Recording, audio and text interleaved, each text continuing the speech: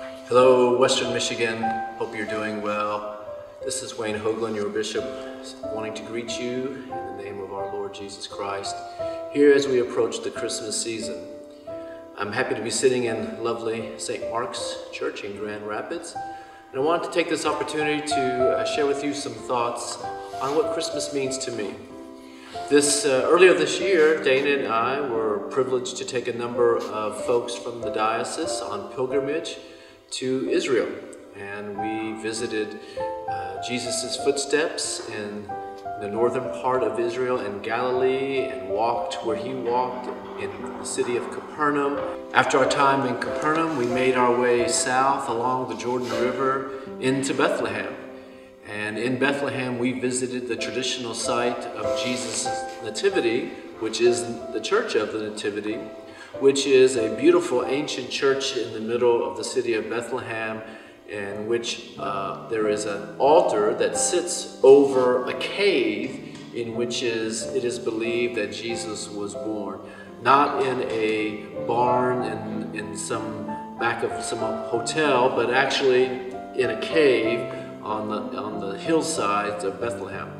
And in this cave, we, we went down into the small opening underneath, and there were the 35 or so of us who were down there, and we got to kneel in the spot which is traditionally believed that Jesus was actually born. And it was a very, very holy moment for each of us. We could spend just a few seconds there.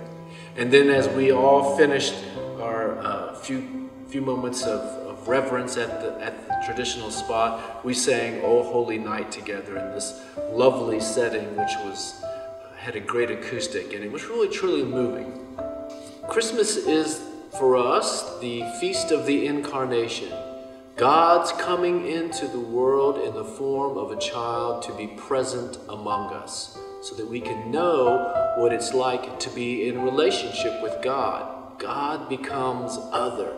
God becomes more than God's self. God enters into our skin, is birthed in us, with us, among us, so that we can be in relationship with God. That's what is at the heart of the meaning of the incarnation and the great gift of Christmas, that great new light that's come into the world that is shining forth, giving us knowledge of the love of God in the actual presence of God among us. So, this feast of the Incarnation, this Christmas is really, really important to us as Anglicans, as Episcopalians. We tend to find a great deal of our theology rooted in this incarnation, in this gift of God coming among us. There's something for us that is tremendously holy and powerful about God coming to be among us, dwelling among us us. The name that we give Jesus in this is Emmanuel. God is with us. And in this, we are reminded that we're never alone. That we are never alone. That God can and will do anything that God can to be in relationship with us. That we are so loved and desired that God will do anything to come and among us. What's important in this incarnation, in this understanding, is that God became other. God stepped into our lives, put on our flesh, so that we could be in relationship with God. Because otherwise, it's difficult to understand the other. I think in that, what God is saying to us is that we need to make ourselves as vulnerable and humble as we can to enter into the lives of others, to give ourselves to the lives of others, to understand the lives of others, just as God did with us, as a way for us to find peace and harmony in the world around us. There's a lot of strife and chaos and confusion in the world these days. And what we tend to do is to fall into camps of likeness, fall into places where we feel comfortable with those who look like us or act like us or think like us or pray like us. And that's nice and convenient, but I think in the incarnation, God challenges us to do more. God challenges us to be present with those who are not like us, to embrace those who are not like us, and to allow ourselves to be embraced and be with those who are different from ourselves so that we can bridge those gaps of division between us and knock down those walls that separate us so that we can help build the kingdom that God is seeking to create, which is not fully here, but just in glimpses in the world around us. Traditionally, we celebrate Christmas by giving presents, gifts, things that we want to share with others to show them how much we love them and appreciate them and admire them, to show our gratefulness for them being in our lives. And I know as a child, I couldn't wait for Christmas morning to run out to see what was under the tree and to uh, be awash in the joy of that moment and to see what I what gifts Santa had given me. What I want to challenge us to think about this year at Christmas is not what presents we might give or receive, not what items we might feel that we must give someone so that we can show them how much we love them and appreciate them, that's nice and that's lovely. I want to suggest that a better gift at Christmas is a gift of presence, the gift of our being present with each other, giving of our lives to one another in terms of our attention, our listening, our, our, our sincere care towards one another and those around us. That that is actually the best gift that we can give and receive at Christmas. And it's consistent with what the incarnation is all about.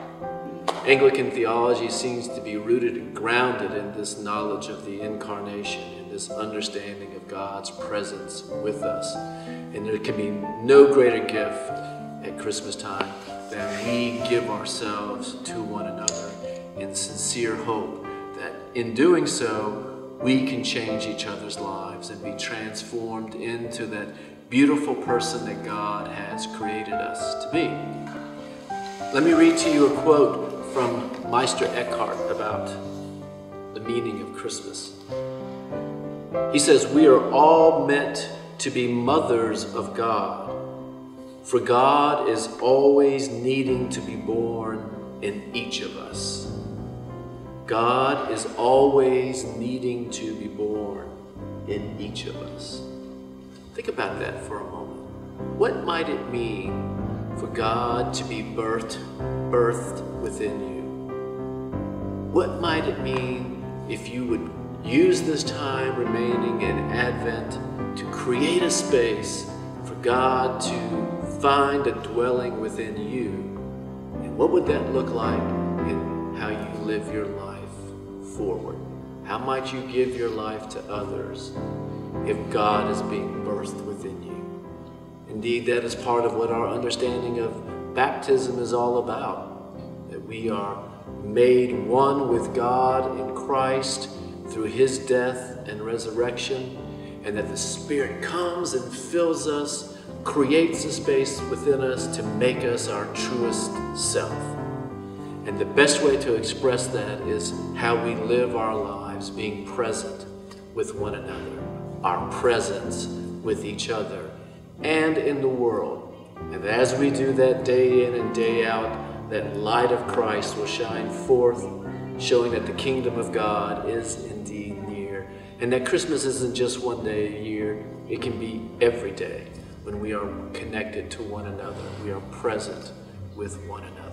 So, my friends, I want to wish you a, a very happy and healthy new year and a very, very Merry Christmas and encourage you to give yourself to each other as a present, a fragrant offering of joy and love and compassion and generosity, just like God gives God's self to us in the birth of Christ every Christmas.